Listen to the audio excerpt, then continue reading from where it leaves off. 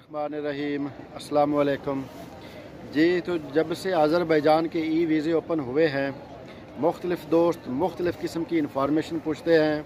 आजकल जो ज़्यादा ट्रेंडिंग में इंफॉर्मेशन जा रही है, वो पाकिस्तान से बाई रोड आज़रबैजान आने की है वाया ईरान। तो बहुत से दोस्त इसका ख़र्चा भी पूछते हैं, बहुत सी और भी चीज़ें हैं जो पूछने वाली हैं। लेकिन मैं आप लोगों को एक बात बता दूँ कि जो लोग पाकिस्तान से वाया ईरान आज़रबैजान आना चाहते हैं ये पॉसिबल है आ सकते हैं। लेकिन इसमें बहुत ज़्यादा चीज़ें ऐसी हैं जो हो सकता है जब जब जब तक आप आज़रबैजान के बॉर्डर तक पहुँचें हो सकता है किसी न किसी वजह से वो बॉर्डर क्लोज़ हो जाए और आपको उसका आ, उसकी टेंशन हो। तो ख़र्चा आलमोस्ट इतना ज़्यादा नहीं है क्योंकि पहले आप ईरान का वीज़ा लेंगे, उसके बाद फिर आप कोविड टेस्ट करवाएँगे, फिर ट्रैवल करेंगे, फिर ईरान से जो है आज़रबैजान आएँगे। तो काफ़ी चीज़ें हैं, ठंड भी बहुत है। उसके अलावा अभी वो प्रॉपर वे से वो वाला सिस्टम स्टार्ट भी नहीं हुआ कि आप जो है ईरान से बस के थ्रू आप आज़रबैजान आ सकें, क्योंकि वो वाला सिस्टम शुरू नहीं हुआ। तो आपको ये टोटल सफ़र जो है ईरान में जो ईरान से आज़रबैजान आने का ये टैक्सीज़ पे करना पड़ेगा। तो ये आलमोस्ट जो है, आप लोगों को ख़र्चा वहीं तक चले जाना है और हो सकता है जब तक आप आज़रबैजान के बॉर्डर जो ईरान की तरफ़ से बॉर्डर आज़रबैजान को लगता है इंटर होने लगे तो हो सकता है वो बंद हो और आपको वहाँ पे वेट करना पड़े, होटल में ठहरना पड़े और या फिर कई दिन इंतज़ार करना पड़े या फिर आपको वापस जाना पड़े। तो ये एक कोविड की ऐसी सूरत हाल है जो कि गैर यकीनी सूरत हाल है, इसमें आप कुछ भी कह सकते हैं कि कभी ना कभी भी कुछ हो सकता है। तो बेहतर यही है कि जो आज़रबैजान आने के ख्वाहिशमंद हजरात हैं, वो बाई एयर आने का ही सोचें। मैं तो यही मशवरा दूँगा क्योंकि बाई रोड आने में कोई मसला नहीं है, लेकिन कोविड के दिन हैं, कोई ना कोई इशू बनेगा तो आप आज़रबैजान इंटर नहीं हो सकेंगे, बल्कि आपका जो पैसा होगा वो ज़ाया हो जाएगा। फिर आप वापस जाएँगे फिर आप टिकट लेंगे या ईरान से बाई एयर आएँगे तो वो आपको ख़र्चा और ज़्यादा पड़ जाएगा।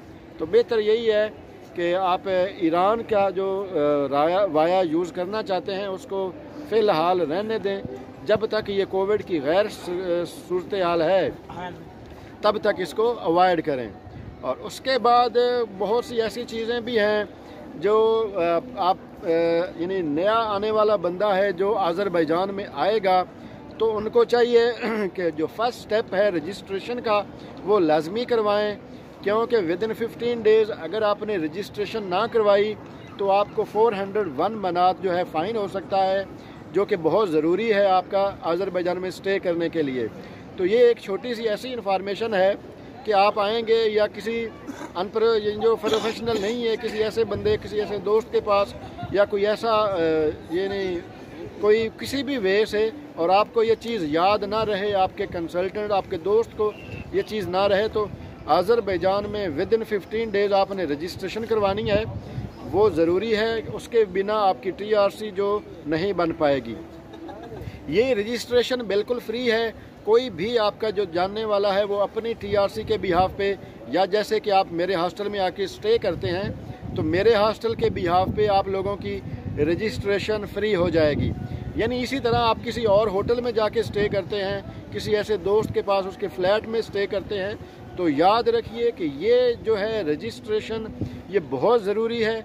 इसके बिना आपकी ना टीआरसी बनेगी और ना ही आपका आगे जो है टीआरसी का प्रोसेस वो कंप्लीट होगा।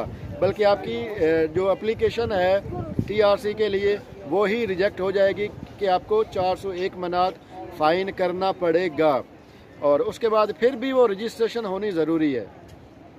तो जो दोस्त आज़रबैजान में रह रहे हैं, जो जिनके वीज़े ख़त्म हो चुके हैं, और उनको चाहिए कि वो इन आउट कर लें, क्योंकि अब भी जो है, ये चीज़ें आसान हैं और बहुत ही चीप हैं। अगर ईरान का बॉर्डर खुला हुआ हो तो ईरान के थ्रू इन आउट कर लें। नहीं तो दुबई का जो है, वो बेहतरीन रास्ता है, क्योंकि दुबई का ही वीज़ा मिल जाएगा और वो अपने आप को लीगलाइज कर लें। ये मत सोचें कि हम बैठे रहेंगे इलीगल हो जाएँगे तो हमें कोई इशू बनेगा। जो उनको एक्सटेंशन पेपर मिले हुए हैं, वो इसी बिहाफ पे मिले थे कि जब तक ये कोविड की सूरत हाल चल रही है, वो तब तक ये जब तक वीज़े ओपन नहीं हुए, तब तक वो इन्हीं पेपर्स के बिहाफ पे रह सकते हैं। लेकिन अब वो सिलसिला ख़त्म हो चुका है तो आप लोगों को चाहिए कि आप अपने आप को खुद को लीगलाइज करें। तो दोस्तों, ये दो छोटी छोटी तीन चीज़ें इंफॉर्मेशन थी। जो कि नए आने वाले लोगों के लिए एक ज़रूरी चीज़ है रजिस्ट्रेशन उसको अवॉइड मत कीजिएगा, ना ही उसको आप भूलिएगा, क्योंकि इसके बिना ये आपका बेसिक जो है प्रोसेस पॉइंट है। तो इसको लाजमी करवाएँ ताकि ख़ुद भी अपने परेशानी से बचें और जो आपके पीछे पाकिस्तान में घर वाले होंगे, उनको भी आप टेंशन में ना डालें। तो ठीक है दोस्तों इन नेक्स्ट वीडियो में मिलते हैं। नेक्स्ट इन्फॉर्मेटिव वीडियो के साथ, तब तक के लिए